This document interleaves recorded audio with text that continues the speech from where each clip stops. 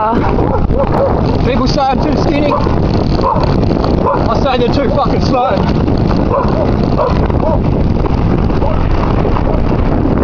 People say Durianrider's too thin. I say you're fucking too slow.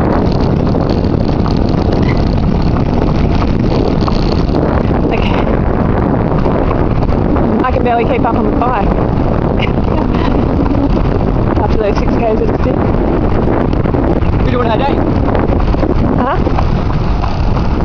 Yep. Fast runner. Yeah, we're doing 18. Fuck. 18.4. You say Durianrider's too thin. I say you're too fucking slow, man. Come out fucking training one day.